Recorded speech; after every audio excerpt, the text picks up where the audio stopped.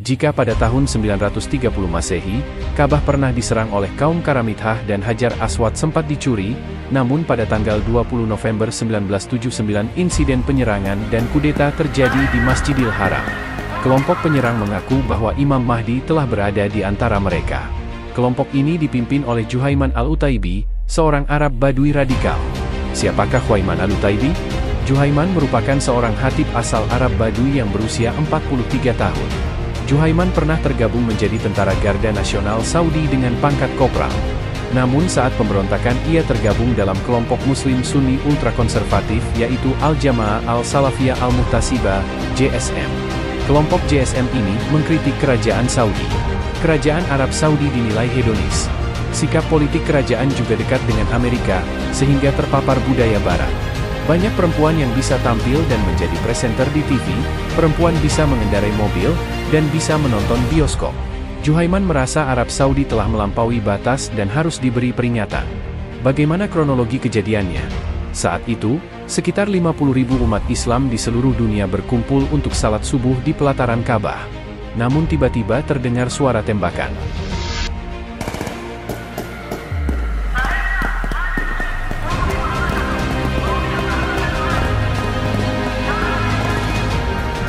Di tengah merangkum dan kekhawatiran jamaah, Juhaiman al-Utaibi beserta 200 pasukannya mendesak maju ke Ka'bah.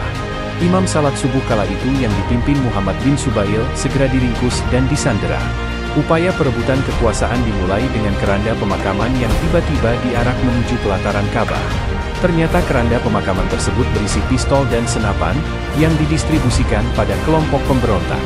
Sebelumnya, senjata-senjata itu telah dipasok dan ditimbun di dalam kamar-kamar yang ada di Masjidil Haram yang selama ini dipakai oleh orang Yaman yang bekerja membagikan air zam-zam. Senjata-senjata itu juga disembunyikan di dalam gerobak sayuran dan buah-buahan milik para pedagang yang biasa berjualan di sekitar Masjidil Haram. Juhaiman pun merebut mikrofon dan berbicara dengan lantang. Rekan-rekan muslim, kami mengumumkan hari ini kedatangan Mahdi, yang akan memerintah dengan keadilan dan keadilan di bumi setelah dipenuhi dengan ketidakadilan dan ketidakadilan. Laki-laki baik itu sekarang ada di sini bersama kita, dan dia akan membawa keadilan bagi dunia, setelah dipenuhi ketidakadilan.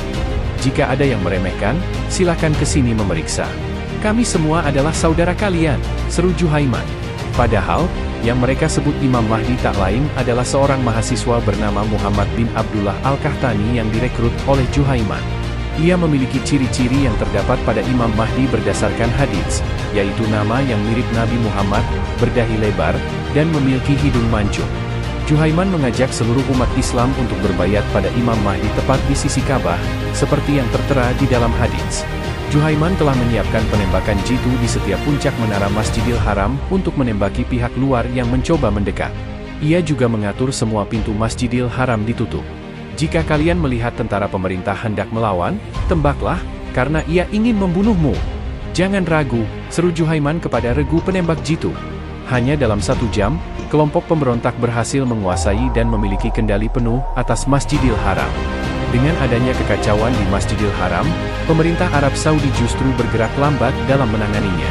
Pemerintah menutup akses berita peliputan dari dunia luar, agar tidak ada informasi dan teror yang semakin mengecam warganya. Terlebih lagi, Arab Saudi juga ditutup untuk turis dan jurnalis mancanegara. Hal ini disebabkan para ulama Arab Saudi harus mengeluarkan fatwa terkait dengan penyesuaian serangan ke Masjidil Haram.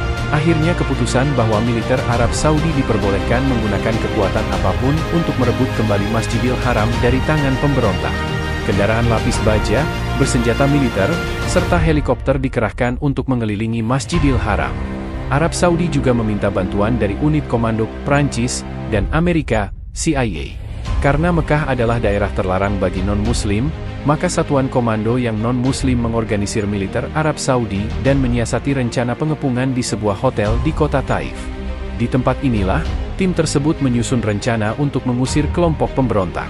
Tim akan menggali lubang di sekitar Masjidil Haram sedalam 50 meter yang akan mencapai ruang bawah tanah.